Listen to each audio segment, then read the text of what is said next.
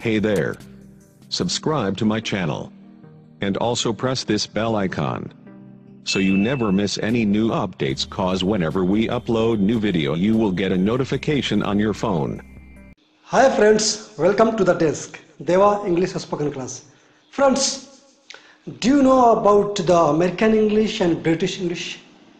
What is the difference between American English and British English? Today I am going to teach you about that thing. That what is the differences between American English and British English. So let's start the class of the day.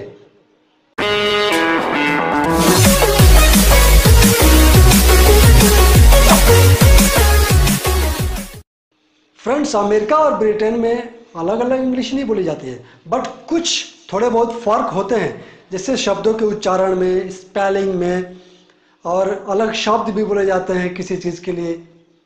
तो एक एक करके मैं आपको बताते जाता हूँ कि क्या क्या फ़र्क है अमेरिकन और ब्रिटिश इंग्लिश में। सबसे पहले देखते हैं हम English video. Good morning sir well well well Surekha very fine I am also fine I am very glad that examination with good score now what do you to do in your future I want your advice. But first I want to know your mind. Our choice must be your liking. I want to be an agricultural officer. If you agree. Most students want to be doctor or engineer. Why not you? I want to do something different. I want to teach farmers the modern method of cultivation. Hmm. It is an excellent choice. But have you ever thought over the hard work?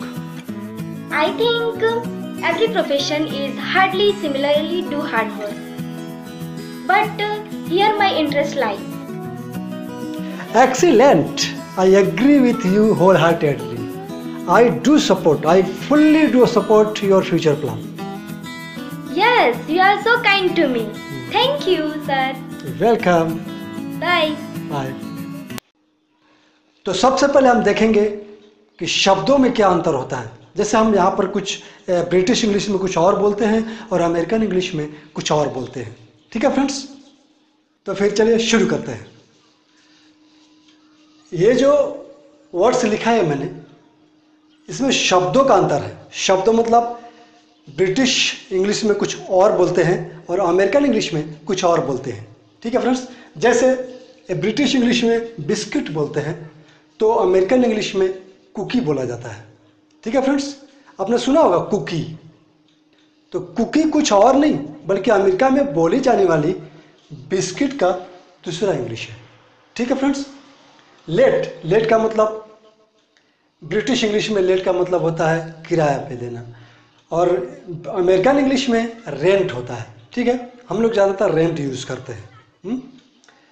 Holiday holiday का मतलब होता है छुट्टी। और वही American English में holiday को vacation बोलते हैं। ठीक है फ्रेंड्स कई लड़कों ने मतलब मुझसे क्लास में पूछते हैं कई लड़के कि, सर हॉलीडे किसको बोलते हैं और वैकेशन किसको बोलते हैं? तो हॉलीडे मतलब कोई एक दो दिन का छुट्टी होता है, उसको हॉलीडे बोलते हैं और जो गर्मियों की छुट्टी होती है, उसको वैकेशन बोलते हैं। ऐसा लोग बोलते हैं मीन्स तो मैं उन्हें समझाता हूँ कि, ठीक है, ये वैकेशन समर वैकेशन ठीक है बट हॉलीडे और समर वेकेशन या कोई भी वेकेशन हो विंटर वेकेशन हो या ऑटम ब्रेक हो, सब वैकेशन ही होते हैं हॉलीडे ही होते हैं। तो उसको बोलने का अपना अपना तरीका है मीन्स कहीं पर कुछ और बोला जाता है और कहीं पर कुछ और बोला जाता है, ठीक है? जैसे हम पानी बोलते हैं तो कहीं जल बोलते हैं, कहीं नीर भी बोलते हैं। तो ये सब बोलने वाले अपनी अपनी मतलब भाषा का ये है कि कहाँ पर क्या बोला जाता है, ठीक है? तो यहाँ पर हॉलीडे ब्रिटेन में बोला जाता है, जो हम लोग यूज़ करते हैं, और वैकेशन भी यूज़ करते हैं हम। हॉलीडे भी यूज़ करते हैं, लेकिन वैकेशन भी यूज़ करते हैं हम लोग। समर वैकेशन बोलते हैं समर हॉलीडे नहीं बोलते हम। लेकिन समर हॉलीडे बोलेंगे तो कोई गलत नहीं होगा, क्योंकि this is the British English and this is the American English ठीक है फ्रेंड्स साइलेंसर जो गाड़ी का साइलेंसर होता है, उसको अमेरिका में मफलर बोलते हैं। ठीक है फ्रेंड्स रेलवे रेलवे जिसको हम रेलवे बोलते हैं। रेल का जो सड़क है। और उसी को अमेरिका में रेल रोड बोलते हैं। पेट्रोल पेट्रोल, हम भी पेट्रोल ही बोलते हैं, लेकिन अमेरिकन इंग्लिश में पेट्रोल को गैस बोलते हैं। पोस्ट माने डाक, हम भी पोस्ट ही बोलते हैं। और ब्रिटेन इंग्लिश में पोस्ट बोला जाता है, और अमेरिकन इंग्लिश में उसी को मेल बोलते हैं, मेल। तो मेल कोई नई चीज़ नहीं है कि मतलब अभी हम बोलते हैं अरे मेल तो चिट्ठी में थोड़ी होता है, वो तो नेट पे होगा, मोबाइल में होगा, लैपटॉप में होगा, कंप्यूटर में होगा मेल। बट पोस्ट को ही हम मेल बोलते हैं। जैसे हम चिट्ठी पोस्ट कर रहे हैं, उसी तरह से हम कुछ भी मेल करते हैं, ठीक है? तो पोस्ट का इंग्लिश, अमेरिका में मेल बोला जाता है। मेज मेज माने मक्का, मकई। मेज भी बोलते हैं और कॉर्न भी बोलते हैं। कुछ लोग जो जानते हैं कि मेज मतलब मक्का होता है, उसमें कंफ्यूज हो जाते होंगे कि कौन किसको बोलते हैं। कौन मतलब कुछ लोग बोलते हैं किसी भी अनाज को हम कौन बोलते हैं। तो कौन इज़ द मेज क्योंकि अमेरिकन में बोली जाने वाली इंग्लिश है, जिसको हम मक्के को कौन बोलते हैं और ब्रिटिश इंग्लिश में मक्के को मेज बोलते हैं। ठीक है फ्रेंड्स अब हम आपको बताएँगे स्पेलिंग जो स्पेलिंग होता है ब्रिटिश इंग्लिश में कुछ और होता है और अमेरिकन इंग्लिश में कुछ और होता है। तो अभी हम वो बताने जा रहे हैं। ठीक है फ्रेंड्स? तो देखिए, ये ब्रिटिश इंग्लिश है और ये अमेरिकन इंग्लिश है। आर्मोर आर्मर मीन्स कवच। यहाँ पर A R M O U R है और यहाँ पर यू नहीं है, अमेरिकन इंग्लिश में। सेंटर सेंटर में A C A C E N T R E है और यहाँ पर क्या फ़र्क है? टी ई आर है सेंटर में। दोनों का मतलब एक ही होता है। स्पेलिंग अलग है। ठीक है फ्रेंड्स कलर एंड कलर कभी कभी कुछ लोग कंफ्यूज हो जाते हैं कि यार कलर की स्पेलिंग क्या है? सही स्पेलिंग क्या है? कभी कोई ये लिखता है, कभी कोई ये लिखता है। अगर जो ये जानता है, वो ये देखता है तो बोलता है गलत है। अगर कोई ये लिखता है और ये देखता है तो बोलता है गलत है। लेकिन दोनों सही है।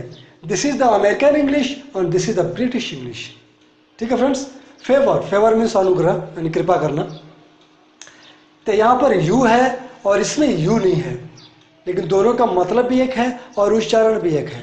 ठीक है फ्रेंड्स ऑनर यहाँ पर यू नहीं है और यहाँ पर यू यहाँ पर यू है और यहाँ पर यू नहीं है। मीन्स अमेरिकन इंग्लिश में यू नहीं है और ब्रिटिश इंग्लिश में यू है। जो भी इस तरह के जो वर्ड्स होते हैं, जितने भी, जैसे कलर हो गया ऑनर हो गया आर्मर हो गया इस तरह के वर्ड्स में, अमेरिकन इंग्लिश में यू नहीं होता है, लेकिन ब्रिटिश इंग्लिश में यू होता है।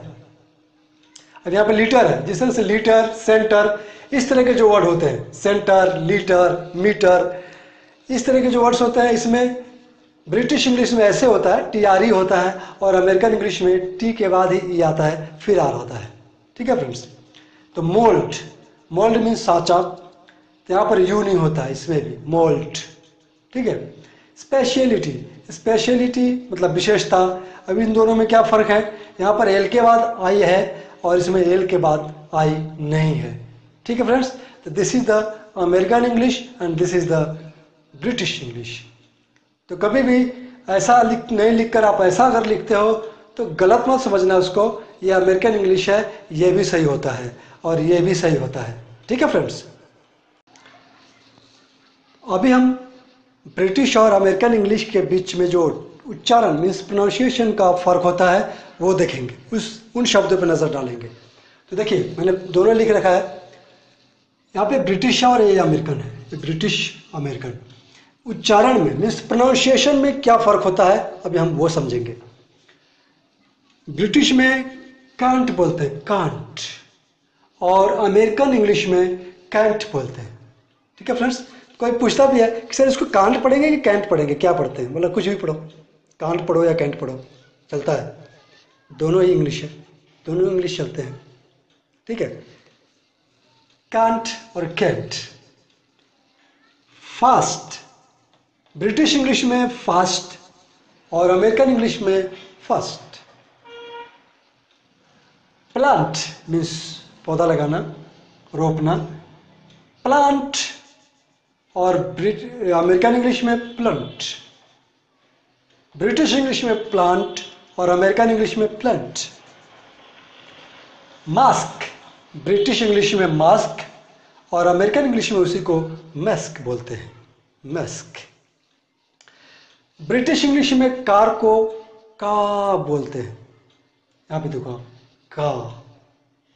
वही अमेरिकन इंग्लिश में कार को कार बोलते हैं, ठीक है? ब्रिटिश इंग्लिश में बी आई आर डी इसको बर्ड बोलते हैं, बर्ड बर्ड। और अमेरिकन इंग्लिश में बोलते हैं वर्ड, बर्ड। वहीं पर ब्रिटिश इंग्लिश में एफ़ आई आर एम इसको हम बोलते हैं फॉर्म। ब्रिटिश इंग्लिश वाले बोलेंगे फॉर्म। और अमेरिकन इंग्लिश में इसको फॉर्म बोलते हैं, फॉर्म फॉर्म। हर्ट हर्ट को ब्रिटेन में हर्ट बोलते हैं। और अमेरिकन इंग्लिश में हार्ट बोलते हैं। ठीक है फ्रेंड्स तो ये सारे डिफरेंसेस हैं ब्रिटिश इंग्लिश में और अमेरिकन इंग्लिश में। और वहाँ के और सन, कुछ सेंटेंसेस में भी फ़र्क होते हैं। जैसे ब्रिटिश इंग्लिश में आई हैव गोन मैं गया हूँ। या ही हैज़ गोन वो चला गया है वो गया है। ऐसा बोला जाए तो उसी को अमेरिका में या अमेरिकन इंग्लिश में ही हैज़ गोन न बोलकर सीधा ही वेंट बोलते हैं। ठीक है फ्रेंड्स मैंने खा लिया है। I have eaten American English वाले इसको बोलेंगे आई एट